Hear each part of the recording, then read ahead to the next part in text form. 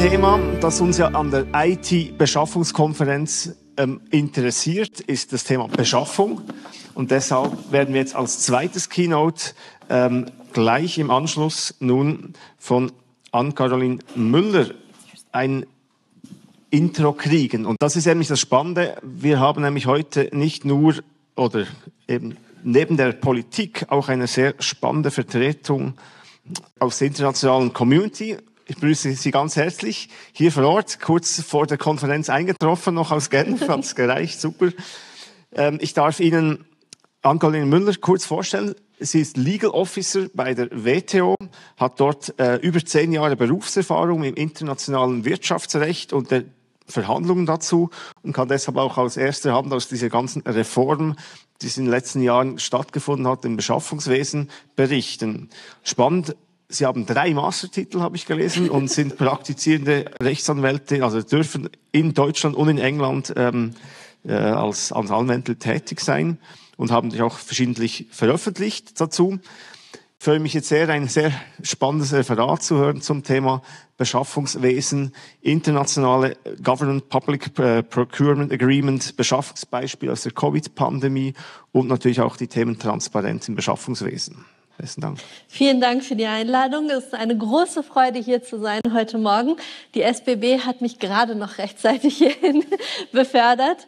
Ähm, und ja, man lebt, äh, lernt im Leben nie aus. Ich bin hier auch, um zu lernen, nicht nur um vorzutragen. Und ähm, insofern, ähm, ja, immer toll, ähm, vor einem neuen Publikum zu sein.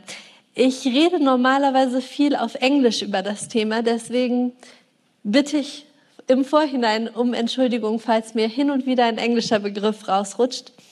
Ähm, und ich wollte einsteigen mit ein paar Worten zur WTO selbst. Die WTO hat in den letzten Jahrzehnten oder im letzten Jahrzehnt ein etwas angestaubtes Image bekommen. Ein Image, wo viel von Blockade, es geht nicht vorwärts äh, geredet worden ist. Und ähm, ja, ähm, trotzdem denke ich, die Hoffnung stirbt zuletzt. Das war die, die Übergabe und das gilt auch für die WTO. Die WTO ist da nicht nur, um Märkte zu öffnen und für Wirtschaftsliberalisierung, sondern das Ziel der WTO ist wirklich die Verbesserung der Lebensstandards weltweit, Arbeitsplatzschaffung und verbesserte ökonomische Bedingungen für nicht nur für die Privatwirtschaft, sondern auch für die Bevölkerung in den Mitgliedstaaten. Und das ist was, was immer mehr jetzt wieder in den Vordergrund tritt. Ähm, wir haben 164 Mitgliedstaaten aus aller Welt. Die Schweiz ist zum Glück auch dabei. Und äh, die Entscheidungen werden durch Konsens getroffen. Und das ist das, wo es manchmal schwierig wird, wenn sich 164 Länder einigen müssen. Das Sekretar äh, Sekretariat, für das ich arbeite, unterstützt die Mitgliedstaaten bei der Entscheidungsfindung und bei der Umsetzung. Wir sind aber nicht die Entscheidungsträger. Die Mitgliedstaaten treffen die Entscheidungen. Und wo jetzt wieder Hoffnung besteht und wo neuen Schwung in den Laden reingekommen ist, ist mit unserer neuen Generaldirektorin. Wir haben zum ersten Mal, sie kam innerhalb der Pandemie, in der Krisenzeit, eine Frau an der Spitze der WTO. Sie ist Afrikanerin aus äh, Nigeria, sehr erfahren, sehr qualifiziert und mit einem ausgesprochenen Interesse, und da komme ich zurück zu den Themen der Konferenz, persönlichem Interesse und persönlichem Engagement die WTO voranzubringen, äh, was Themen wie Nachhaltigkeit, Korruptionsbekämpfung, äh, SMEs, also kleine und mittelständische Unternehmen, äh, Gleichstellung von Frauen und eine generelle Modernisierung der Organisation anbelangt. Und ihre eigenen Worte, ich zitiere hier für ihre Reden, ähm, sagen, dass die WTO aufregend ist, die Agenda der WTO, und dass die Zukunft digital ist, dass die Zukunft grün ist und insbesondere Dienstleistungen im Zentrum stehen. Und ich denke, das ist was, was hier auf der Konferenz wichtig ist, was für die IT-Branche ist, wichtig ist. Ähm, und also unsere neue Generaldirektorin hat einen ganz ausdrücklichen Aufruf gestartet, dass die WTO The WTO must grasp that future. Wir müssen diese Sachen bei den Hörnern packen. Wir müssen diese Themen angehen und da aktiv werden. Ähm, das hat sie jetzt auch schon ganz erfolgreich und praktisch getan in der letzten Ministerkonferenz, die im Juni diesen Jahres stattgefunden hat. Vor dem Hintergrund einer globalen Krise natürlich, der Pandemie, der Ukraine-Krieg, äh, drohende Lebensmittelkrisen, die daraus äh, entstehen können, Unterbrechung der Handelsketten während der Pandemie, Inflation, mit der wir jetzt zu kämpfen haben, generelle geopolitische Spannung und natürlich Klimawandel. Und die Organisation, wie ich schon gesagt hatte, war ein bisschen in Stocken geraten. Und trotzdem haben wir jetzt also eine erfolgreiche Ministerkonferenz ähm, abschließen können mit wichtigen Ergebnissen zur Pandemie, ähm, zu Covid-19 äh, und äh, einem TRIPS Waiver, ähm, Einkäufe des Welternährungsprogramms. Da haben sich die Mitgliedstaaten äh, geeinigt, dass keine Ausfuhrbeschränkungen bestehen sollen. Ein Moratorium zur Zollfreiheit von digitalem Handel, sehr wichtig für die IT-Branche natürlich, das bleibt weiter bestehen. Und zum ersten Mal ein Abkommen direkt zum Umweltschutz im Bereich Fischerei. Außerdem haben sich die Mitgliedstaaten auch dafür ausgesprochen, die WTO-Reform generell äh, voranzutreiben. Und das ist also der Hintergrund, vor dem wir jetzt stehen. Die WTO ist also im Wandel begriffen, ist dabei, sich zu modernisieren und ein äh, Abkommen, was als Vorreiter vielleicht da schon gedient hat und was sich bereits vor der Ministerkonferenz erneuert hatte, ganz organisch als Teil des Arbeitsprogramms, welches in diesem Abkommen festgeschrieben war, ist das revidierte WTO-Abkommen über das öffentliche Beschaffungswesen. Das Vorgängerabkommen datierte aus dem Jahr 1994. Da kann man sich vorstellen, im Bereich Digitalisierung lief da noch nicht so viel im, Begleich, äh, im, ähm, im Bereich ähm, Nachhaltigkeit waren die Sachen auch noch nicht so im Fortschritt begriffen.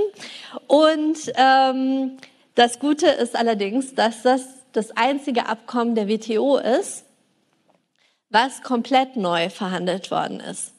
Und das neue GPA, das neue Abkommen, wurde 2012 ab, schließend ausverhandelt und ist für die meisten Länder zwei, äh, im Jahre 2014 in Kraft getreten.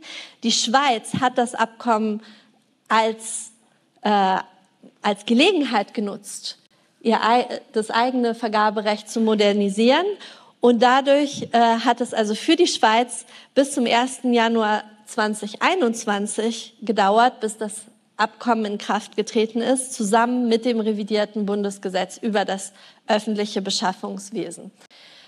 Ähm, und ich denke, das ist was, was also die Schweiz, manche haben sich gefragt, wieso dauert das so lange in der Schweiz? Ich sehe das als was Positives. Ich denke, um auf den Titel meines Vortrags zurückzukommen, wir sehen hier, dass die Schweiz wirklich das GPA ernst genommen hat und als Wegweiser genommen hat für die eigene Vergaberechtsreform und das in sehr positiver Weise. Was ist, ähm, Moment, ja, andere Mitgliedstaaten der WTO, die sich jetzt plötzlich für das neue äh, Abkommen interessiert haben, sind Länder wie Australien, die Ukraine, Moldawien, Montenegro und Neuseeland und äh, die UK, United Kingdom, die waren natürlich in einer etwas besonderen Position. Die sind auch nach dem Brexit wieder ähm, weiter beigetreten und weiter Mitglied geblieben. Gerade haben wir sehr aktive Beitrittsverhandlungen von Brasilien und ähm, wir sehen immer, dass diese Länder die dem GPA beitreten, wirklich auch das GPA als Wegweiser nehmen, das Abkommen als Gelegenheit, den Beitritt zum Abkommen als Gelegenheit äh, begreifen, ihr eigenes Vergaberecht zu modernisieren. Und ich werde später noch ein paar äh, Beispiele zu digitaler Transformation aus der Ukraine zum Beispiel geben. Ähm, Ich hatte noch einen Punkt hier. Ähm, was ist jetzt neu im GPA und was sind die Ingredienzien des GPA? Wir haben auf der einen Seite Regeln zum Beschaffungswesen und hier haben wir jetzt neue Themen im äh, revidierten Abkommen. Das ist Korruptionsbekämpfung, das ist mehr Transparenz, insbesondere durch elektronische Vergabe. Hier haben wir also einen Digitalisierungseffekt, ähm, mehr Flexibilität für Entwicklungsländer und ganz neue ausdrückliche Bestimmungen, ähm, die umweltbezogene Auswahlkriterien und auch Zuschlagskriterien zum ersten Mal ähm, ausdrücklich ähm, unterstützen. Generell folgt das GPA ähm, einem Konzept von Qualitäts- und nicht nur Preiswettbewerb. Das sind also die Regeln zum Beschaffungswesen, die ein wichtiger Grundstein im GPA sind. Dann auf der anderen Seite, die WTO ist dafür da, Märkte zu öffnen, das GPA auch, haben wir die Marktzugangsverpflichtungen. Und die sind wirklich für jede Vertragspartei äh, einzeln ausverhandelt. Die Schweiz hat also sogenannte Annexes, Anhänge zu dem Abkommen, wo ganz genau beschrieben wird, welche Vergabestellen äh, vom GPA äh, umfasst sind, welche die Güter, Dienstleistungen und äh, Bauaufträge. Und ähm, wichtig hier, und da habe ich noch eine Folie dazu, sind die Schwellenwerte. Das GPA wird also nur über gewissen Schwellenwerten äh, angewendet und unter den Schwellenwerten äh, können die Mitgliedstaaten also auch nationale Vergabe, Ver Vergabemärkte stärken, nationale SMEs ähm, bevorzugen, wenn sie das für richtig halten und insofern einen guten Ausgleich schaffen. Ähm, ganz wichtige Ingredienz bei der Ausverhandlung des neuen GPA ähm, sind die Arbeitsprogramme zu Zukunftsthemen. Und hier kommen wir wieder zurück auf die Themen der Konferenz, auf unsere Themen heute. Nachhaltige, äh, nachhaltige Vergabe, ein Thema, was für die Schweiz immer wichtig ist, kleine und mittelständische Unternehmen und auch statistische Vergabedaten, ähm, die natürlich ähm, wie wir ganz am Anfang gesehen haben, die Visualisierung von Vergabedaten ähm, immer ein großes Thema. Und diese Arbeitsprogramme sind also ein Forum zum Austausch zwischen den Mitgliedstaaten, ähm, wo einzelne Mitgliedstaaten ihre Best Practices, ihre Erfahrungen ähm, mit anderen teilen können und wo man, wo die Länder voneinander lernen können. Also wieder zurück zum Austausch, Open Source, Wissen teilen, Best Practices teilen, das machen wir in der WTO also auch. Ähm, das GPA will keine Blaupause für Vergaberecht sein, es will kein starres äh, Gerüst sein, sondern es will äh, Flexibilität bilden. Und ähm, natürlich ist die offene oder selektive Vergabe, die offene Vergabe mit Wettbewerb der Standard. Wir sehen aber auch, ähm, dass Einladungs Einladungsverfahren und Direktvergabe oder freihändige Verfahren ähm, möglich sind bei Vorliegen von besonderen Umständen. Und für den IT-Bereich vielleicht wichtig, also das ist möglich bei mangelndem Wettbewerb aus technischen Gründen, ähm, bei zusätzlichen Lieferungen und Schwierigkeiten im Anbieterwechsel, zum Beispiel aus technischen Gründen. Und das ist auch wieder ein Thema, also inwieweit bei der IT-Vergabe besteht äh, Interoperabilität, sodass man also Wettbewerb auch bei nachfolgenden Vergabeverfahren aufrechterhalten kann.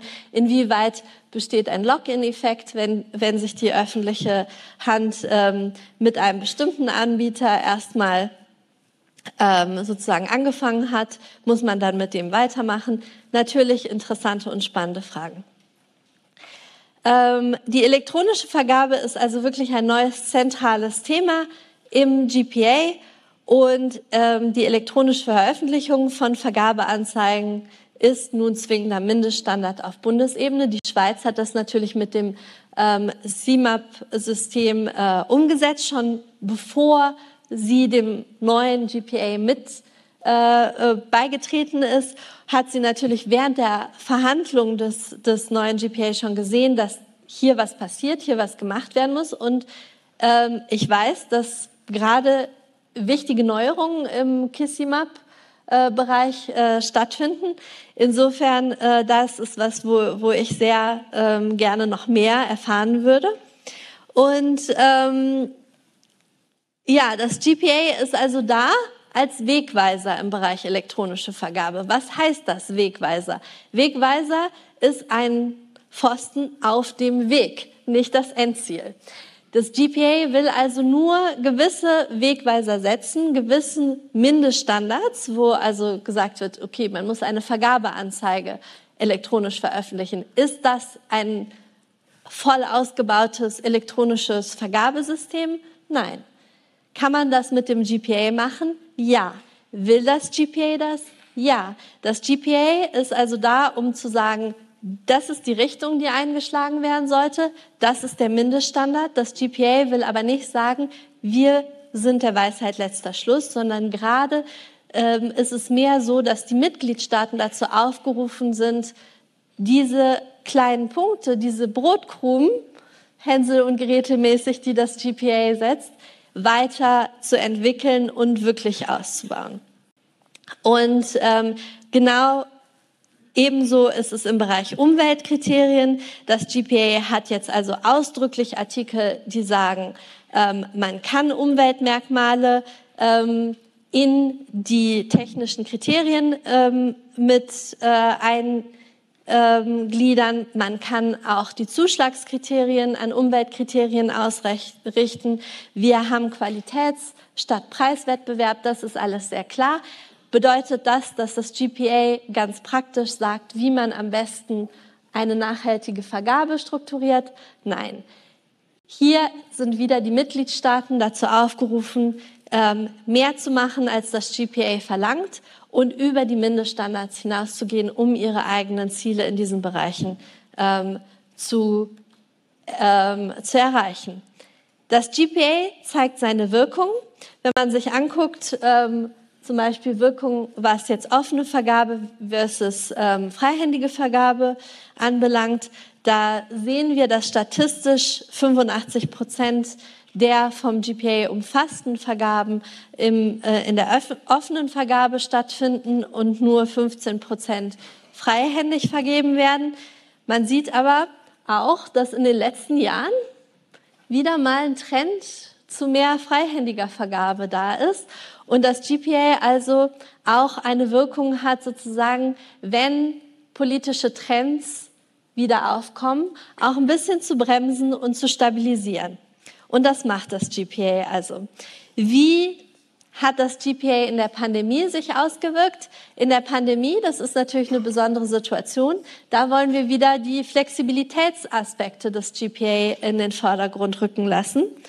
Ähm, und wir sehen also, dass in der Pandemie selber, wenn man sich anguckt, also äh, Grippe, Grippeimpfung vor der Pandemie, 91 Prozent offene Vergabe, 9 Prozent freihändige Vergabe.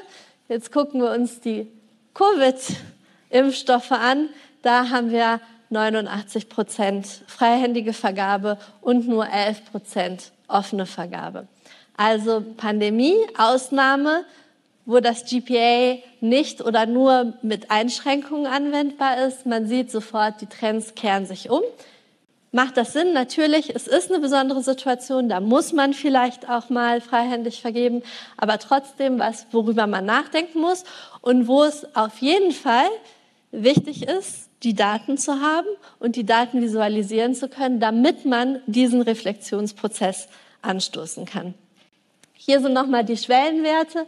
Wir sehen, äh, unter diesen Schwellenwerten ist das GPA also nicht anwendbar und die sind also in Special Drawing Rights äh, IMF-Währung e äh, ausgedrückt und werden dann in die Nationalwährung umgewandelt. Ähm, Lassen Sie mich noch ein paar Worte sagen zum eGPA-System. Das ist ein Softwareprojekt oder ein Digitalisierungsprojekt, was wir im WTO-Sekretariat hatten. Mein Kollege war dazu zuständig und das bestand darin, diese Annexes, diese Coverage, also die, die Marktzugangsverpflichtungen der Länder ähm, besser darstellbar zu machen und ähm, besser zugänglich zu machen. Ich habe hier mal äh, mir angeguckt, was Computer and Related Services anbelangt und sehe also, es besteht viel Marktöffnung in dem Bereich, also eine Gelegenheit auch für Schweizer Unternehmen international an Ausschreibungen teilzunehmen. Ähm, Güter im Bereich, äh, ja, digitale Güter sind generell umfasst. Und ähm, hier nochmal der Aufruf, das eGPA als wichtige Informationsressource wahrzunehmen und zu nutzen, wenn man sich dafür interessiert, wo man Marktzugang hat und was die Verpflichtungen auch der Schweiz sind. Also generell im GPA geht es um Gleichgewicht und Solidarität. Auf der einen Seite muss man Importe in gewisser Hinweise zulassen, äh, auch im Bereich öffentliche Vergabemärkte. Auf der anderen Seite wird auch die Exportwirtschaft ähm, gestärkt. Auf der einen Seite stellt das GPA wichtige Mindestkriterien, die als Wegweiser eingehalten werden müssen. Auf der anderen Seite haben wir auch Flexibilität und die Möglichkeit, über die Mindeststandards gerade im Bereich Digitalisierung, Nachhaltigkeit und so weiter hinauszugehen.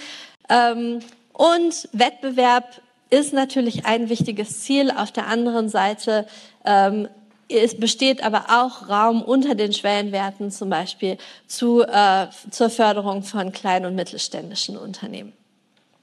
Jetzt noch ein paar äh, Slides zur Visualisierung von Beschaffungsdaten. Wie ich gesagt habe, ähm, Länder, die dem GPA beitreten, haben diese Wegweiserfunktion des GPA sehr gut verstanden und auch die Tatsache, dass man über das GPA idealerweise noch hinausgeht. Und ähm, hier sehen wir die Ukraine, die hat also zum Beispiel den GPA-Beitritt genutzt, um Korruptionsbekämpfung durch Digitalisierung zu unterstützen und hat also ein ganz neues äh, äh, Konzept für ähm, elektronische Vergabe ähm, sich erarbeitet, wo also der Grundsatz ist, dass strukturierte Daten verwendet werden, die an einer Schnittstelle, die von der öffentlichen Hand kontrolliert wird, zusammenlaufen, die aber im, in der Praxis, also die Vergabeportale, können von der Privatwirtschaft äh, dadurch, weil es Open Source ist, betrieben werden. Die stehen im Wettbewerb miteinander, die beste Dienstleistung im Bereich Vergabe anzubieten. Und es ist also so, dass das eigentliche Vergabeverfahren über diese miteinander konkurrierenden Portale stattfindet und die Daten dann an die öffentliche Hand, an, die Regierung fließen. Und dann, dadurch, dass es strukturierte Daten sind, die also äh, gut miteinander aus den einzelnen Portalen kompatibel äh, integriert werden können, kann man die auch gut visualisieren. Und wir sehen jetzt, dass die Ukraine noch weitergeht und dieses, äh, diese Form von digitaler Ver Vergabe jetzt auch ähm, nutzt, um Nachhaltigkeit zu, ähm, zu unterstützen und also besser verfügbare Nachhaltigkeitskriterien in die Vergabesysteme einzubauen, sodass also auch für, für die öffentlichen Vergabestellen es leichter wird, äh, ähm, nachhaltige Vergabe in der Praxis umzusetzen. Und äh, Prosoro hat jetzt auch gerade von, der, von den Vereinten Nationen ein Public Service Award äh, gewonnen, weil es also auch genutzt wird, um staatliche Assets, staatliche äh, Güter zu verkaufen. Also nicht nur einkaufen, sondern auch verkaufen mit den gleichen Prinzipien der Öffentlichkeit, der Transparenz und durch ein digitales ähm, äh, Netzwerk. Ähm, das ist ein Beispiel von internationaler Erfahrung mit Open Contracting, um wieder zurück zu den Themen Openness, Open Source, Schnittstellen und so weiter zu kommen. Und ich war sehr, das ist hier das Open Contracting Partnership, mit dem also viele Entwicklungsländer zusammenarbeiten und leapfroggen, also äh, weite Sprünge nach, äh, nach vorne ähm, machen durch diese strukturierten Daten. Und es gibt jetzt auch, auch basierend auf dem Konzept von Open Tendering, ich weiß nicht, ob das, was, was hier im Raum bekannt ist, für mich war das, was ich jetzt neu entdeckt habe, ähm, eine Initiative Open Tender, wo also ähm, verschiedene NGOs und auch Universitäten zusammenkommen und gucken, was an öffentlich verfügbaren Daten im Bereich Vergabe äh, in den einzelnen Ländern zur Verfügung stehen und vers versuchen, diese Daten zusammenzutragen und zu visualisieren. Und das hier sind jetzt also Schweizer Daten aus dem Bereich IT-Services. Diese Leute ähm, arbeiten non-for-profit und sind, versuchen also das Beste aus den Daten zu machen, was man, die man so öffentlich finden kann, die also ähm, Open Source sind und ähm, sind immer darauf angewiesen, dass wenn sie irgendwas nicht richtig dargestellt haben, nicht richtig verstanden haben oder die Daten lückenhaft sind, noch weitere Inputs aus den Ländern zu bekommen. Also hier ein Aufruf, wenn hier irgendwer mitarbeiten will oder was sieht, was korrigiert werden muss. Ich weiß nicht. Ähm, wir sehen hier zum Beispiel, dass eigentlich sehr viel F, äh, äh, Open Tendering ähm, gezeigt wird, was so ein bisschen im, im, Kontrast steht zu den Daten, die wir vorher gesehen haben. Da frage ich mich, brauchen die noch ein bisschen Input aus der Schweiz oder ist das die richtige Situation? Ähm, insofern ein Aufruf, also das GPA als Wegweiser zu nehmen, ja, aber noch mehr zu machen, gerade im Bereich Digitalisierung und Nachhaltigkeit als das, was das GPA als Mindeststandard verlangt. Ähm, und wirklich, ich möchte gerne, dass hier alle ähm, mitnehmen, dass die WTO auch in einem Erneuerungsprozess ist. Äh, die, die letzte Ministerkonferenz zeigt die bestehende Relevanz der Organisation. Das GPA war ein Vorreiter im Hinblick auf Digitalisierung, Nachhaltigkeit, Korruptionsbekämpfung.